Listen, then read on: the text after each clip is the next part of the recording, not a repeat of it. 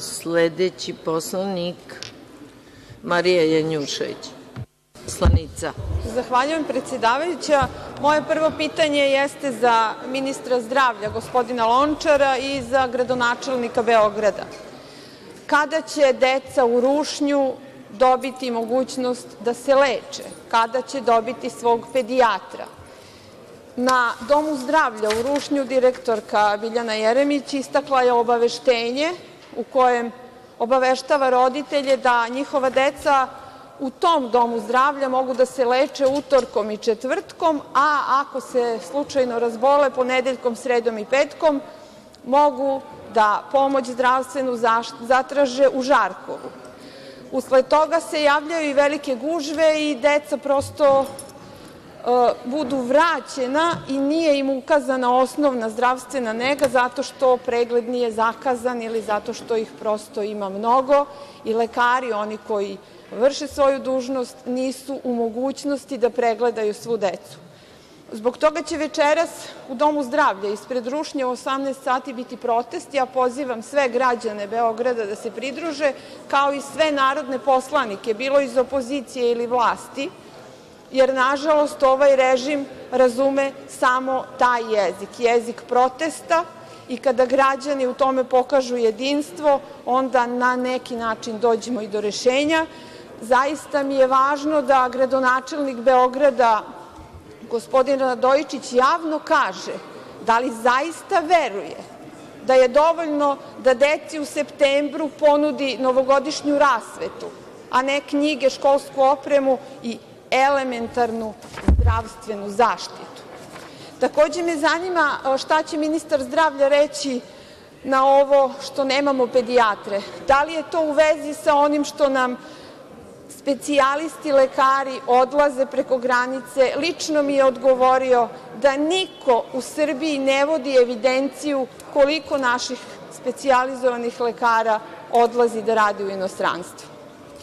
Drugo pitanje postavljam ministru za rad, zapošljavanje, boračka i socijalna pitanja gospodinu Đorđeviću, kao i ministarki Slavici Đukić Dejanović, odgovornoj za demografiju i populacionu politiku.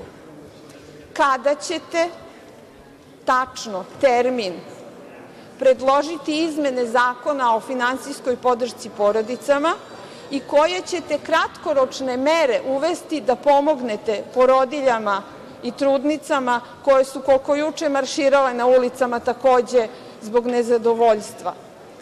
Majke koje zarađuju više oštećene su zato što je maksimalna zarada koju tokom porodiljskog odsustva mogu dobijati tri prosečne plate, bez obzira na to kakvu one zaradu ostvaruju tokom rada, dok one koje ne rade zaista mogu da dobiju finansijsku pomoć, ali ona je nekad manja i od 1.000 dinara. To je poražavajuće i to je varka.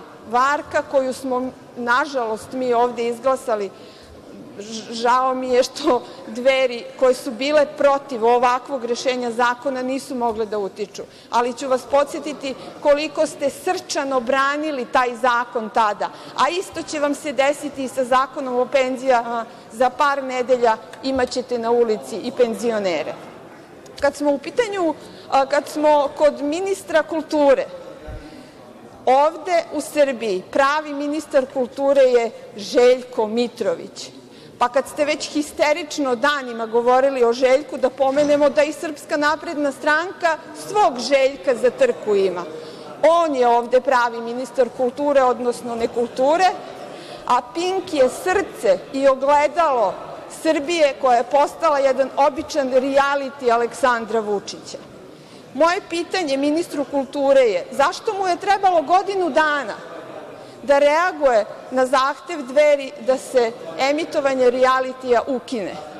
Da li je namirisao da će biti smenjen, da će na njegovo mesto da dođe neko ko će doslednije da sprovodi politiku Željka Mitrovića i da li je, kad je već krenuo u verbalni obračun sa svima koji su bili dužni da brane Željka Mitrovića, a to su premijerka, ministar odbrane, ministar unutrašnjih poslova, kad je već ušao u verbalni obračun sa njima, Da li je ministar kulture preduzeo sve potrebne mere da kazni REM, da kazni Pink, da kazni medije koji promovišu sadržaj rijalitija?